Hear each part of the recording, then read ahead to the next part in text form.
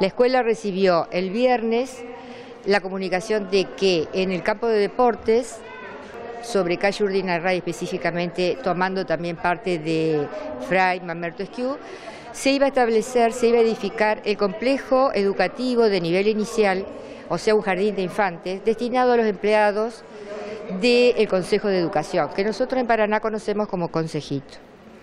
Eh, a través de una llamada telefónica a la, actual rectora, em, un empleado de la Departamental de Escuelas notifica de esta situación.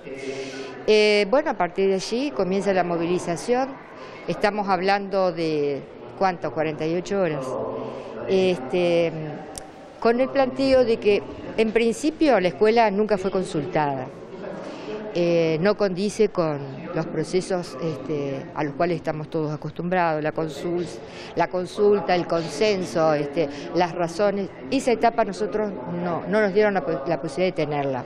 Pero lo que nosotros planteamos es que el campo de deportes es una unidad pedagógica junto con el edificio administrativo, sería, o donde ustedes ven la asamblea en este momento.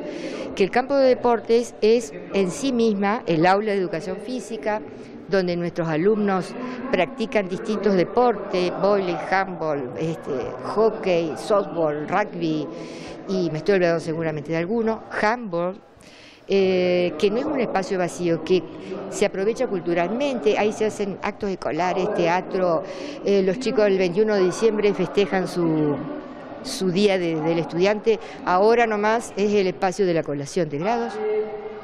Entonces nosotros preguntábamos, ¿qué, qué, ¿por qué eligieron el terreno?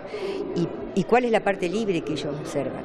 Por supuesto no tuvimos respuesta. Acá, eh, por supuesto, están también los vecinos de esta, estas intersecciones, porque eh, desde el punto de vista ambiental y urbanístico esto va a tener un impacto si se llevara adelante la obra.